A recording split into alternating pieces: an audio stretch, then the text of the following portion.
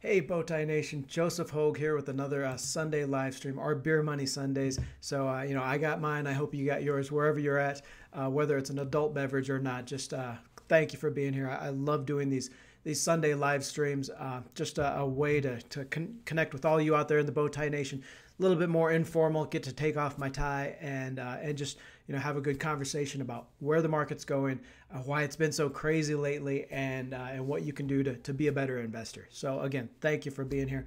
Got a great uh, a great episode for you today. After last week's look at uh, you know that one chart in FactSet Research, after last week's live stream where we looked at you know what analysts are expecting for returns uh, you know, over the next year. Got a lot of questions uh, and a lot of people asking for a deeper review of some of my favorite charts from that resource. So, you know, all you out there in the Bowtie Nation know that uh, FactSet that's probably my single best uh, best resource for looking at stocks, looking at earnings, and and where that long term earnings picture is. Uh, so, you know, I wanted to I wanted to use this week to uh, to just go go over some of those uh, some, some of those important charts, how you use them, and uh, you know how you maybe make a, little bit better investing decisions. Uh, make sure you stick around though, because the end of the video, before we get to our question and answer uh, section, so probably usually around 30 minutes is what it, it takes to uh, to get through this first topic. Uh, I'm going to talk about why you know this week, this coming week could be exceptionally bad for stocks. I mean, it's already been pretty bad. Nasdaq was down 10%, uh, you know, in that late February sell-off. Uh, has rebounded about 6% from there. But uh, we've got a lot of uh, points, a lot of events this week that could actually be a, an inflection point for stocks. You know, it's uh, a lot of it to do uh, around revolving around those interest rates and and why I think those could jump higher this week and some warning signs. So make sure you check that out towards the end of the uh, the video. It's going to be about 30 minutes in. Uh, you know, after we get over these uh, this first topic, and then we'll be hitting that Q and A section as well.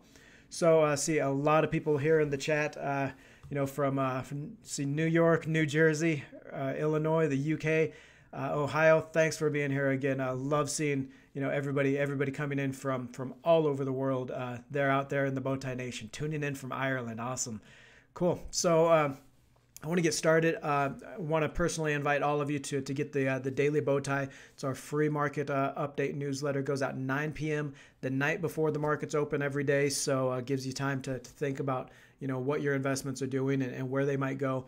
Uh, it's completely free, just something I wanted to start doing this year and, and provide to, to all you out there uh, out there in the nation. So I left a, uh, a, link in the live chat there. I'll also leave one in the description below if you want to check that out. Sign up. Uh, it's completely free and, and it's going to go over a lot of the stock market, the news, and the trends and the strategies that, that we talk about here on the channel. And then, of course, towards the end of the video, we'll we'll do that uh, question and answer. Love talking to to everyone that out there in the nation, and uh, you know, just getting that, getting a little bit closer connection than what we can get in regular videos. So I want to get started there. Uh, if you didn't check out last week's videos, we got uh, a couple videos out. The space stocks, you know, the space exploration stocks that are really starting to heat up, especially ahead of uh, the ARK Invest Space uh, Exploration ETF that's coming out probably, uh, you know, end of this month, maybe most likely in April. They filed their SEC registration in January, so that means a, a couple of months, and they'll be able to uh, launch that fund and they're going to be buying, uh, you know, hundreds of millions of dollars, uh, you know, maybe even billions of dollars. I think their smallest fund is like 1.2 billion dollars. Uh, so that means, you know, an extra billion dollars is going to be hitting into a lot of these space stocks, and uh, so now is probably the time to uh, to pick some of those up uh, ahead of of ARK Invest investing in those. Also talked about Bitcoin versus Ethereum on Friday. Check that out. Uh, all, all, you out there in the nation know I've, I've invested off and on in Bitcoin and cryptocurrencies in the past few years. Uh, just now, just starting to get more of a longer term investment thesis on it and uh, really looking at okay, so which is going to be the, the better investment going forward, Bitcoin versus Ethereum. This next week, got some uh, great videos for you. VR stocks to buy, virtual reality, uh, alternate or augmented reality stocks coming at you. Uh, tomorrow's video, uh, looking at those ARK Invest big ideas, trends, and how uh, you know, just the VR headset and that hardware opportunity alone, ARK Invest estimates could be a $350 billion opportunity over the next three years, just to 2025. So uh, it's going to be a really interesting opportunity, uh, and I wanted to highlight some of the stocks in that uh, in that theme. Uh, Wednesday, we're going to be looking at some cannabis penny stocks. uh, some penny stocks that I've been following in that cannabis theme, in the in the medical marijuana and the uh, the legalization theme. So so make sure you check those out. Um, I want to get to uh, to this week's topic because again, this is uh, probably my single favorite uh, research resource uh, or tool. You know that FactSet earnings and some of these charts can really help you figure out where your investments are going uh, and, and, how to make those better decisions. So we're going to head on over to uh, to Google, and I just want to show, you know, for those of you that haven't heard me talk about FactSet till your heads explode already because I talk about it constantly. I want to show you how to find this. So you go to Google and you type in FactSet Earnings Insight. Okay. So we'll click there, FactSet Earnings Insight, and it's almost always going to be this first, uh, this first, you know, this first result here, and it'll be a PDF. Okay, so you'll see FactSet Earnings Insight key metrics. It'll be a PDF, and uh, and if you click through, then we'll use uh, it's going to look like this. We use the one that I've already got loaded up, and basically this is just a uh, biweekly report or poll that FactSet Earnings Insight that FactSet puts out uh, they poll all the analysts, a lot of the analysts that have their uh, their price targets and and uh, and estimates on uh, S&P 500 companies. Okay, so these are the 500 largest companies in the U.S. on that S&P 500 index. Um, and so they track, you know, where earnings are, where earnings are going, and those analyst expectations for those, right? Uh, you know, you know that uh, over the short term, three months, four months, even up to a year, it's investor sentiment, right? Investor sentiment, optimism, enthusiasm, that's going to drive stocks and stock prices. Over the longer term, though, you have to have an idea of where earnings are going. You know, over the lo- year longer period, uh, and, even in, in the some, sometimes in the shorter periods, especially during earning seasons when the companies are reporting these earnings, uh, you have to have an idea of where those earnings are going uh, and how they might surprise the market, right? Because, you know, this is just going to show you what analysts are expecting out of earnings, what investors are expecting out of earnings for those companies. Uh, and then you look at this, you use this in some of these charts that we'll talk about, and uh, and you say, okay, you know, where's the market wrong? Where is the consensus wrong, uh, whether higher or lower on these earnings? And you know, how do I trade in front of that? How do I invest in front of that? So we're going to uh, we're going to scroll through here, and I'm going to show you. Uh, you know where to look for some of these charts. Some of the most important charts. There's a lot of great information on here but we're just going to focus on just a, a few of the things uh, a few of the things that i like i like to look at. So we'll, we'll scroll through and uh, you know you can you can check this out. They always have like a topic of the week which is really interesting. Uh, you know this this last uh, this last week was you know where analysts are more, most optimistic on ratings for S&P 500 companies. Uh, they had another topic, I believe, which was you know uh, how the how the coronavirus has really changed earnings in a lot of these industries. So you can check that out. Uh, we're going to go though to, and they'll always review the uh, the most current uh, earnings seasons results. We're actually going to scroll down to page 16 of this one, and I'm going to show you this this first chart. Uh, and this is probably one of the uh, one of the more important ones that I that I watch. Um, okay, so actually it's it's 17 here. This is the net profit margin, right? Okay, so this is this is going to show us by sector. So you know you've got those 11 sectors, stock sectors of the economy, uh, those broad groups of, uh, of companies in the same in the same niche in the same topic or, or uh, you know that that grouping of, of industries and their net profit margins. Okay, now net margin is that's just the the net income the income available to shareholders, so that bottom line earnings uh, that a company reports divided by the sales, right? So that is the core, the net profitability. That's how much in uh, that's how much in of those sales they're converting into profits for investors. Okay, so uh, obviously a very important uh, metric to follow that profit margin, that net profit margin. And what this is going to show you here, let's just make sure I can. Uh, okay, so we're see, seeing it there. Um, and what this is going to show you, this one is the blue line is the uh, the Q4. So uh, you know the most recent quarters net margins, profit margins for these uh, the stocks in these sectors.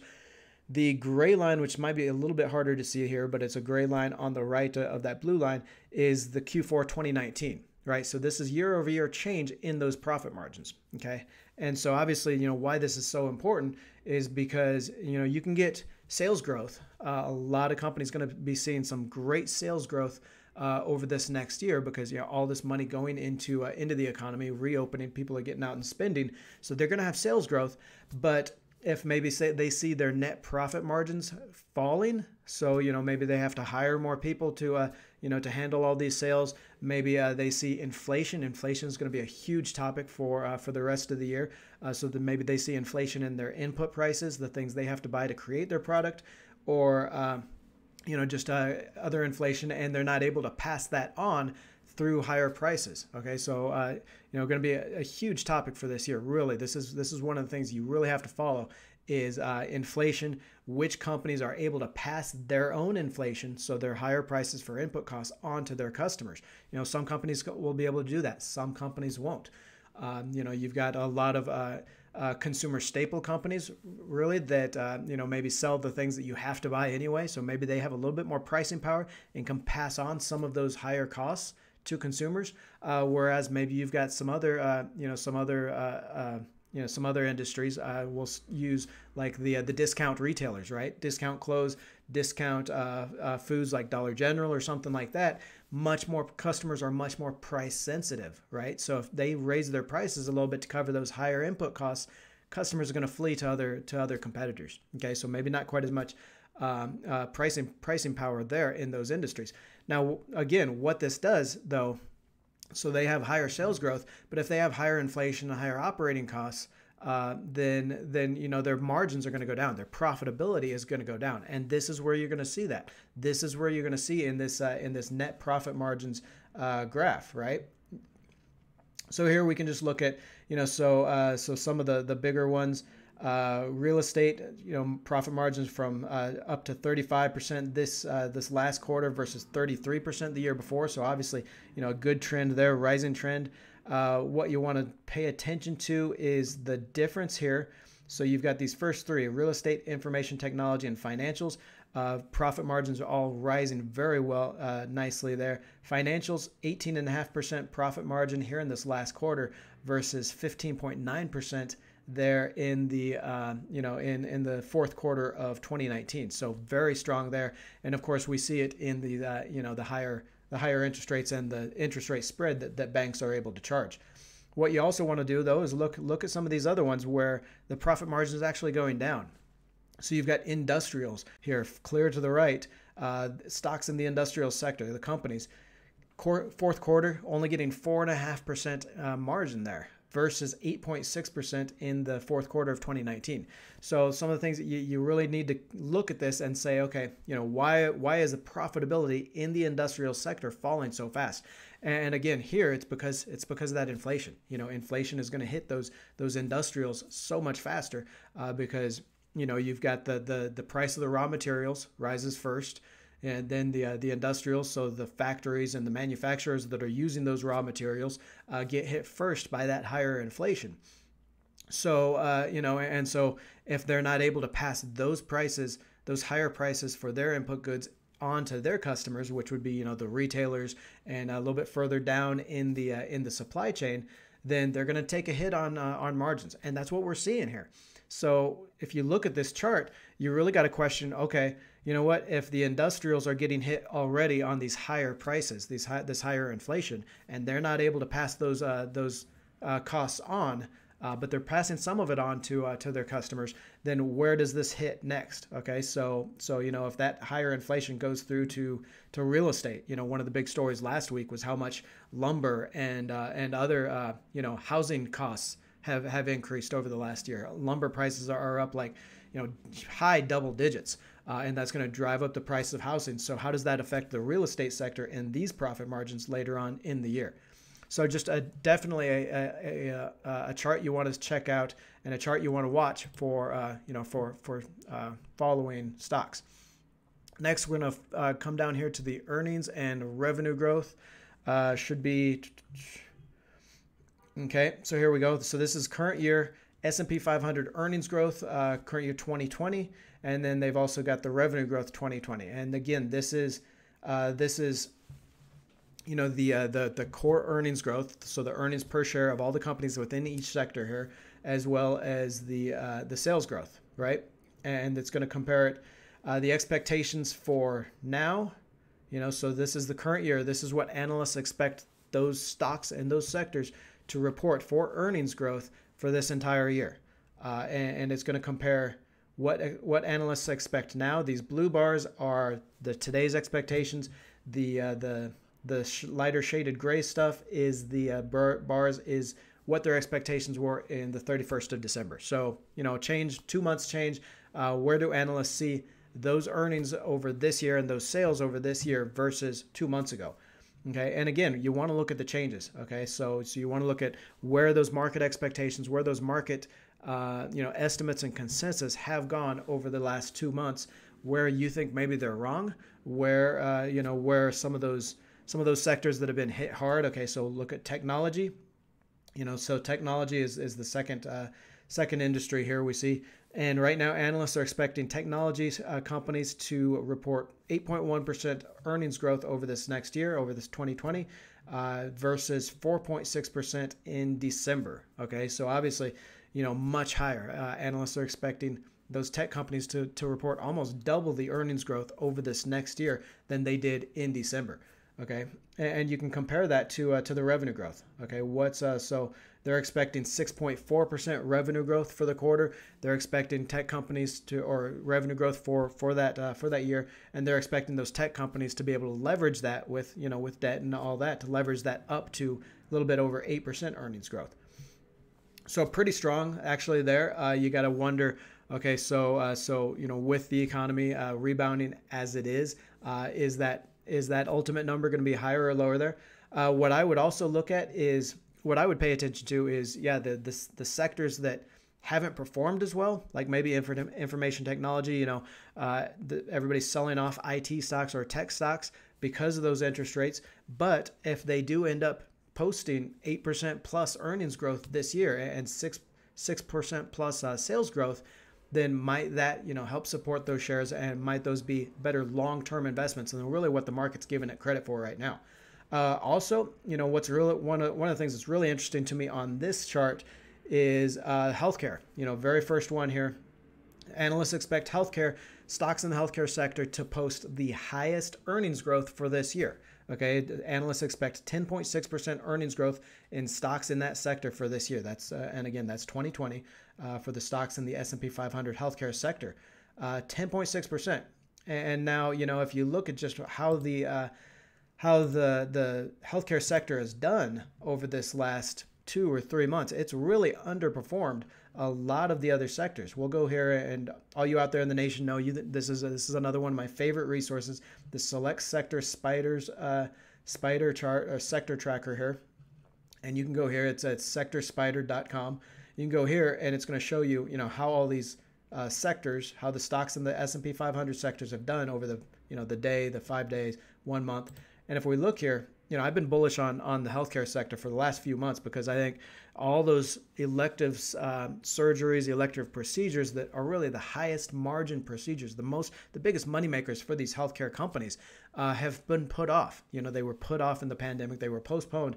As those come back, those uh, you know those healthcare companies are going to start making more money right? So uh, so you're going to see you're going to see higher returns uh, or higher profits and higher higher returns probably from that sector. But if you look out, you know, one month, uh, healthcare has underperformed uh, about a half percent return there. It's underperformed pretty much every sector other than uh, other than tech and consumer discretionary, right? Those high PE growth stocks, those high uh, high PE stocks that, that have been hit by the interest rates uh, over the last, you know, we'll go even further out over the last three months. 1.8% return on stocks in the healthcare sector, far below uh, most of them. You know, below um, below pretty much everything other than uh, other than again those those high PE stocks, uh, utilities, uh, consumer staples here, which are also yield sensitive. So you know what I'm thinking here is uh, looking at this chart. I'm saying, okay, well, you know, analysts expect the earnings to be so much better for healthcare companies, 10.6% earnings over the next year. Uh, let's look at sales growth. You know, again, healthcare top performing uh, you know top performing sector for sales, sales growth this year expected by by uh, analysts. And in fact, if we look here, the change uh, it today, you know, currently analysts expect 9.2% sales growth for stocks in the uh, in the sector, in the healthcare sector, right?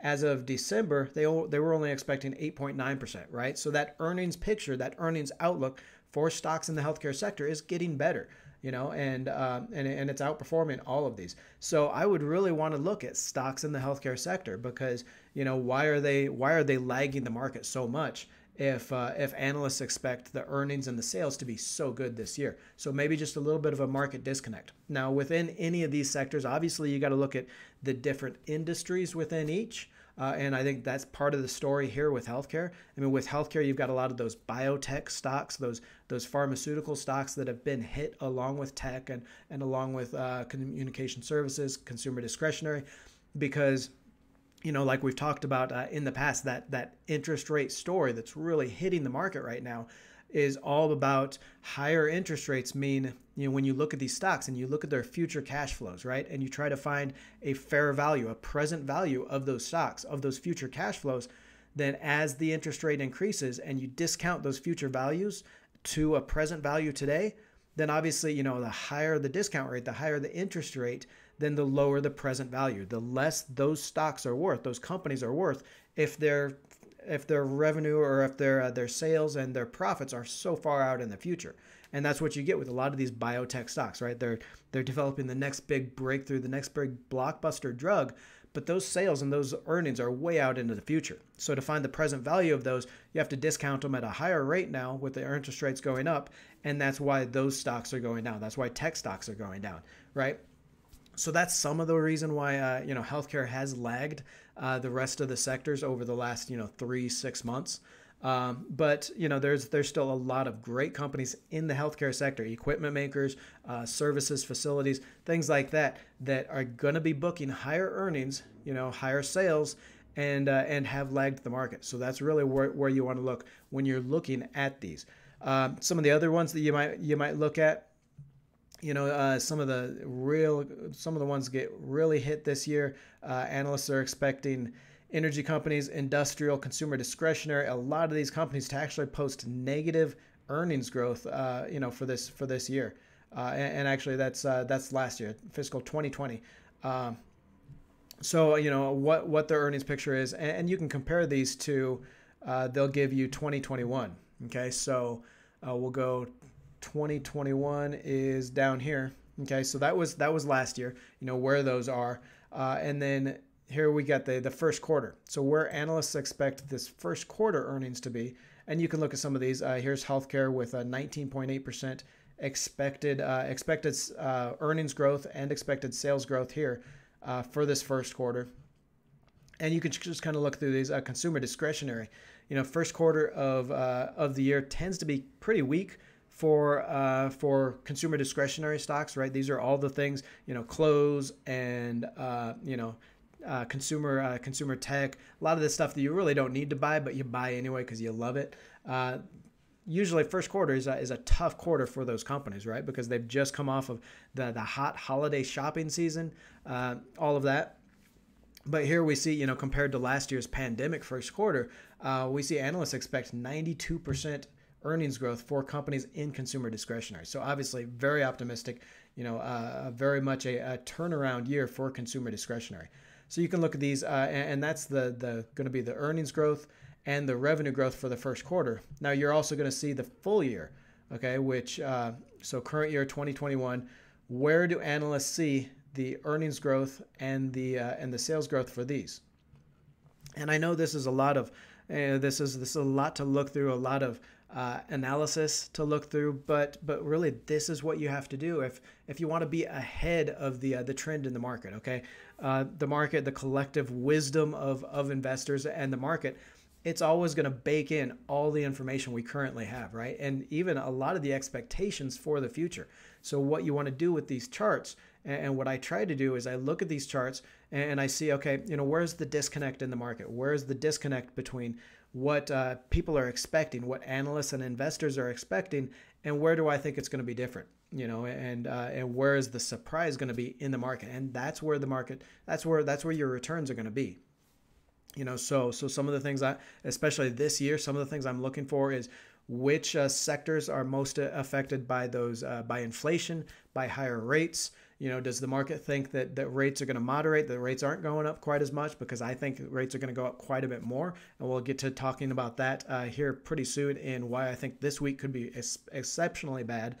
Um, which uh, you know where does the market think inflation is going to be and how is that going to affect some of these right so so right now the market is ex- expecting inflation right around two to two and a half percent right over the next five years okay you can actually see market expectations for inflation uh, it's it's the difference between uh, you know the uh, the treasured the the the protected securities the inflation protected securities the tips and the uh, the, uh, the the nominal rate uh, and, the market isn't really expecting inflation to be that bad over the next five years, even over the next year, uh, which you know I think it's going to be much worse than the market expects. So what I want to do when I look at these these the profit margin, the uh, expectations for a lot of these charts, is which ones are underestimating uh, inflation rates and that kind of thing. So I want to do uh, the last couple of charts here, and then I want to talk about uh, you know where really where the market is going this week and, and why I think it could be a, a bad week for uh, for the markets. Um, another one here that uh, that I want to highlight is uh, is one that I've actually used on the on the chart quite a bit, and I think it's quite it's usually quite a bit further down here. This is okay. Here we are. This is the sector sector level forward 12 month PE ratios. Okay, and, and all you out there in the nation, you you recognize this chart because I love using this chart. It's one of my favorite ones here. Um, and what this shows is Okay, so the dark blue bar is the uh, the forward PE ratios, and what that is is just the price of all the stocks in that sector. Okay, so the sector average for the price divided by what analysts expect earnings per share to be over this next uh, over this next month, right, or over this next year, excuse me.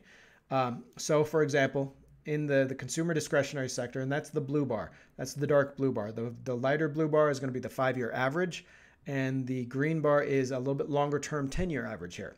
So what we're looking at here, so uh, stocks in the consumer discretionary sector. Okay, so all of your retailers, your clothing, uh, your apparel, uh, things like that. Right now, the stocks in that sector in the S&P 500 are trading at 34.9 times on a price to to forward earnings basis. Okay, you take the price of, of all the stocks in that sector, divide by the earnings that analysts expect over this year. And, and, remember, this year is supposed to be a great year for uh, consumer discretionary stocks, great year for for earnings. But even as high as the uh, the earnings they're expecting this year, those stocks are still trading for 34.9 times on that uh, that forward price to earnings basis. Okay, which is actually you know well well above the 10 year average. If we look at this 10 year average, uh, 34 divided by 19.7, and that's uh, you know, that's about 50% there. 34.9 divided by 19.7. Uh, 77, excuse me, 77%.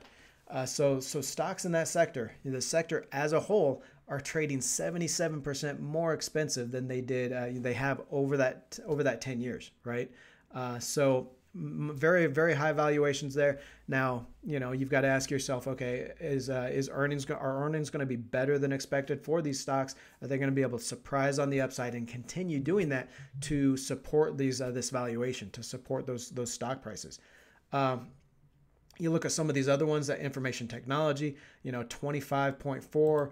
Uh, 25.4 divided by a longer term average of 16.5 is 54% over the, the long run average there for, for tech stocks. So very much uh, expensive sectors, okay? And, uh, and you know, uh, you don't have to be a value investor to kind of look at this and say, okay, you know, which of the sectors that I want to be in? Where, where are the sectors that are maybe a little bit more opportunity uh, here, maybe not quite so highly uh, high valuations.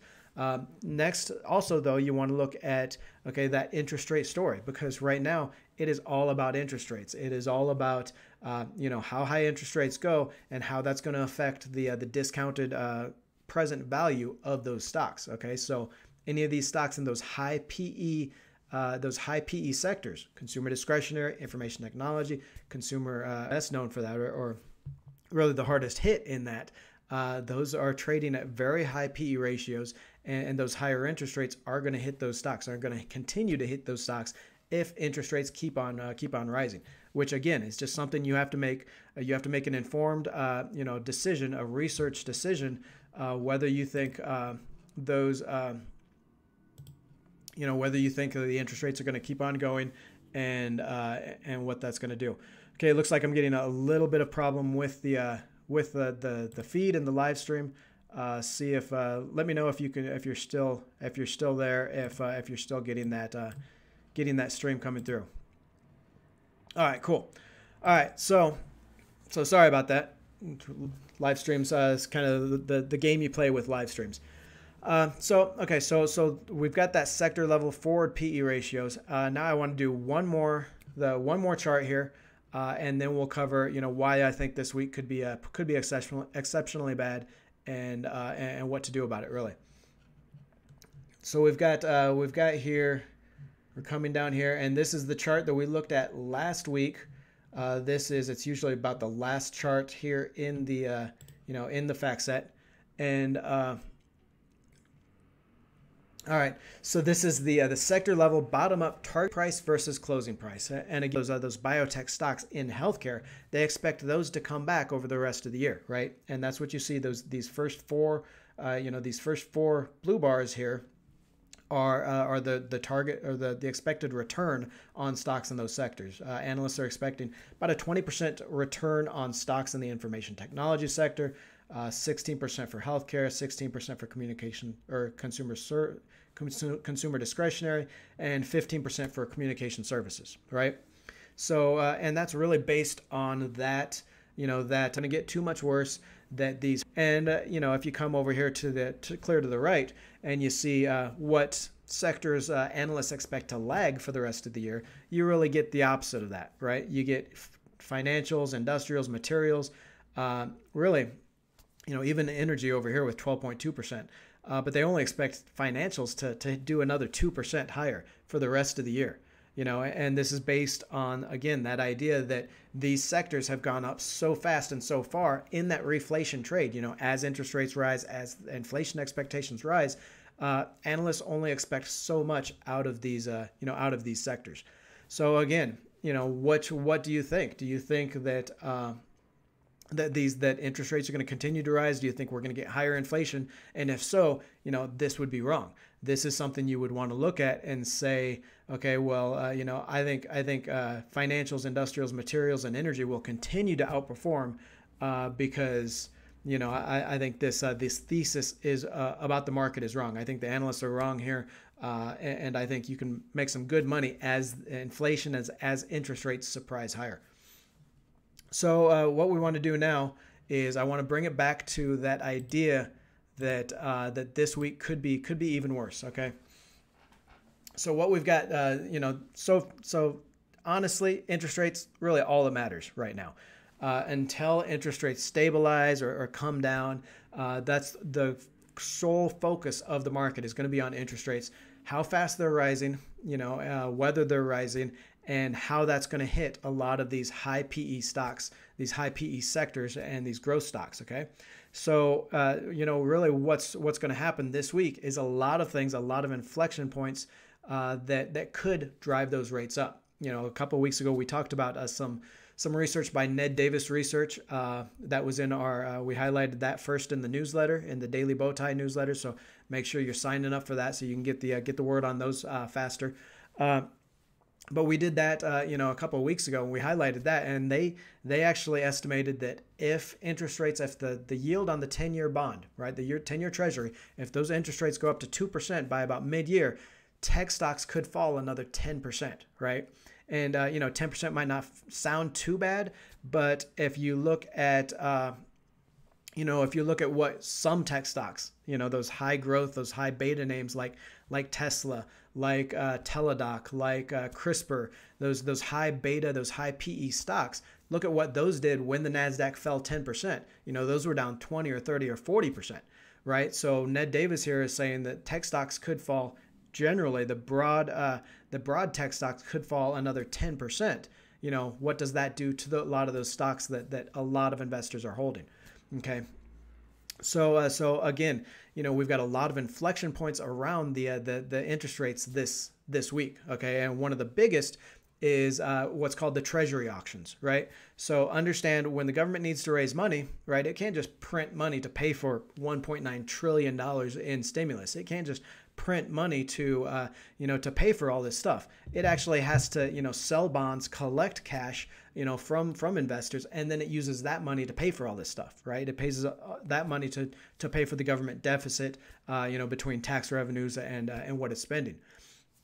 So what it does, the government will come out of the treasury, right? The treasury will come out, you know, a couple days a week, and they'll have auctions for their bonds. They'll sell maybe seven-year bonds or five-year or whatever duration they're going to sell, uh, and they'll sell those those bonds that week that week.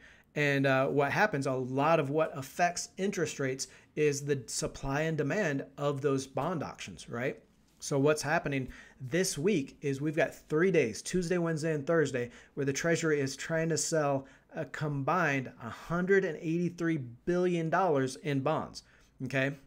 So for this week, you know, the Treasury, you know, to, to pay for government spending, to pay for that upcoming $1.9 trillion, all the checks that went out, the, the Treasury has to sell $183 billion in bonds to collect the cash and pay for all that stuff, right?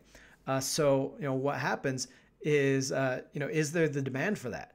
uh, are there going to be enough investors to buy all those bonds and at what interest rate you know because the lower the lower interest rate uh, or the lower the lower demand for uh, investors have for those bonds you know i mean the market just can't soak up that much bonds 183 billion dollars in bonds there's just not enough investors and not enough investor money for it right? So as that demand kind of kind of weakens kind of goes down then the treasury has to offer higher rates on those. The rates on those uh, on those bonds have to go up. And that's what that's really what we're seeing. You know a couple of weeks ago when uh, when uh, the 10 year went up like 6% in a day and stocks sold off by 2 or 3% then um, you know that was that was because of a bad seven year auction. There was uh, the the the Treasury tried selling something like seventy two billion dollars in seven year bonds, the demand just wasn't there. You know, there weren't enough investors, wasn't enough investor money, and so those rates went up. You know, and, and so you look at this week, three days, 183 billion dollars, and uh, and it's just going to keep on continuing. You know, every week we're going to have have hundreds of billion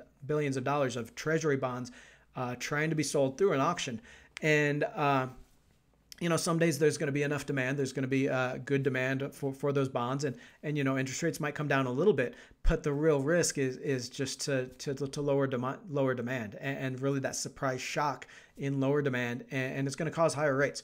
So that's three days: Tuesday, Wednesday, and Thursday. That could be could be bad for for investors. You know, it might not all three of them be bad, but but at least one of those days could be very bad.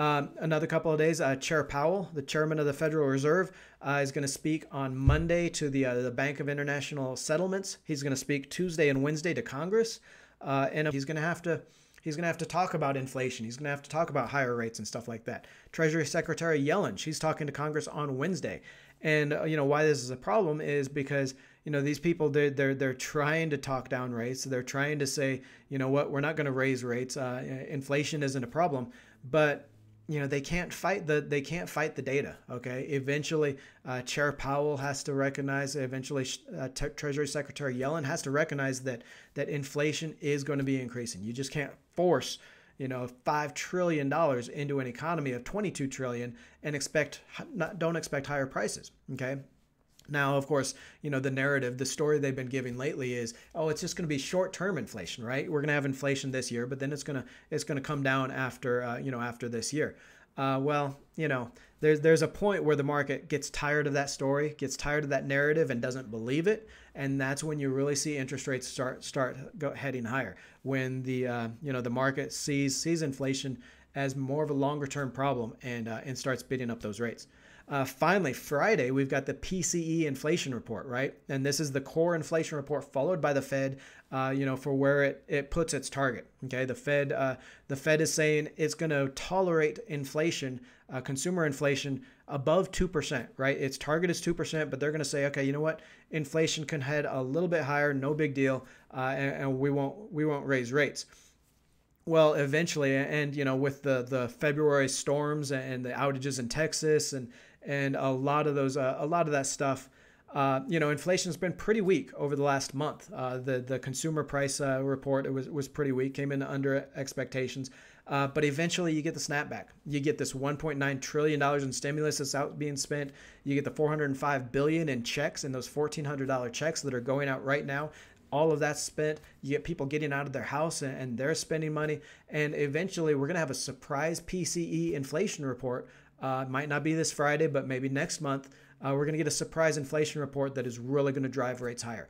So really, you've got uh, three, you know, you've got three, six, seven, seven points, seven events this week that could spark rates higher. Uh, and that's why, you know, I think just any one or two of those hits and it could, uh, you know, it, it, could drive the markets. It could make for a painful week in the in the stock market.